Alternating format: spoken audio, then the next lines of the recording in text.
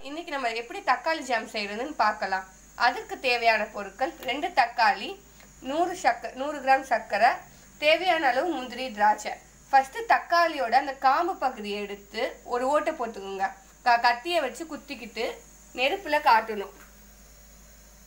காட்டிட்டு இருக்கும் போது ஒரு நிமிஷம் காட்டுங்க நல்லா. காட்டும் போதே உங்களுக்கு வந்து தோல் ந- வெளில வரும். அது வரைக்கும் காட்டணும்.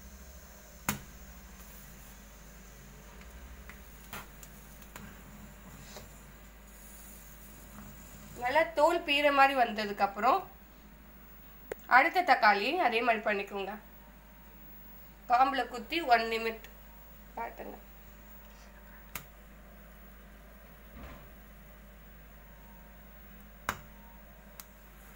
தோல் பீற மாதிரி வர ஸ்டேஜில் நம்ம எடுத்துடணும்.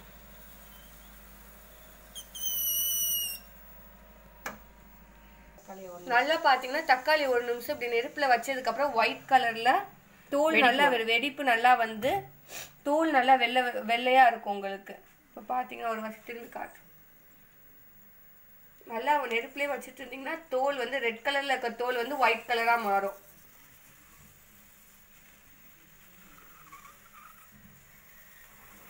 தெரியுதா உங்களுக்கு? தோல் அப்படியே ஒயிட்டாக மாறுறது? தோல் கலண்டே வரும்.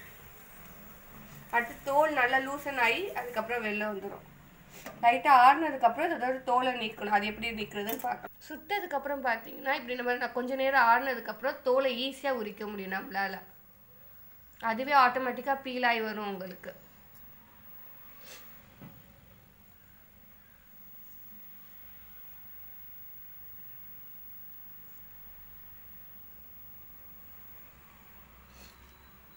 இந்த மாதிரி தோலை நல்லா உரிச்சு வச்சுக்கோங்க.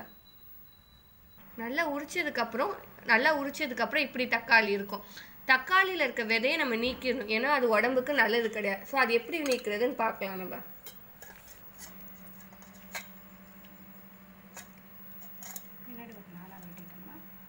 நாலு ஃபஸ்ட்டு நாலாக வெட்டிக்கோங்க. அதுக்கப்புறம் அந்த ஒரு ஆப்பிள் மாதிரி வெட்ட வெட்டியிருக்கும். அதுக்கப்புறம் விதையை மட்டும் இப்படி ரிமூவ் பண்ணிடுங்க.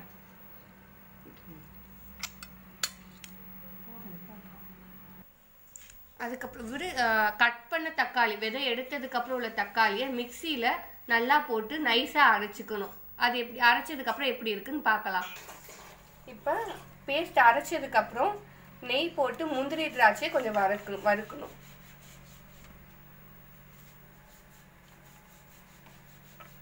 தேவையான அளவு முந்திரி திராட்சை போட்டு நல்லா வருங்க நல்லா வறுத்ததுக்கப்புறம் நம்ம எடுத்த ஜீனியை அப்படியே போடணும்.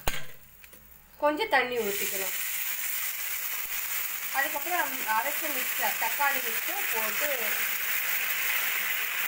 நல்லா கலக்கணும் அவ்வளோ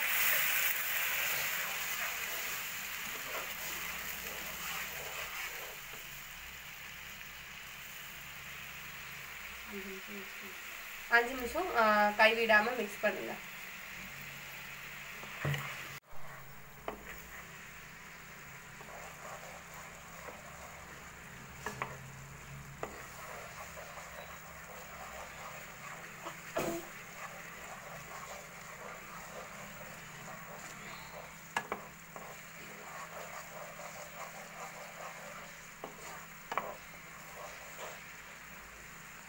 டேஸ்டியாக இருக்கும். இனிப்பான தக்காளி ஜாம் ரெடி ஒட்டாமல் வந்ததுக்கப்புறம் தக்காளி ஜாம். தக்காளி ஜாம் ரெடி சுவையான எம்மியான தக்காளி ஜாம் ரெடி நீங்களும் செஞ்சு பார்த்து கமெண்ட்ஸை கீழே போடுங்க. தேங்க்யூ இந்த தக்காளி ஜாமை நம்ம பிரியாணி குஸ்கா இது மாதிரி இதுக்கு சைடிஷாக வச்சு சாப்பிட்டா இன்னும் டேஸ்டியாக இருக்கும். இனிப்பான தக்காளி ஜாம் ரெடி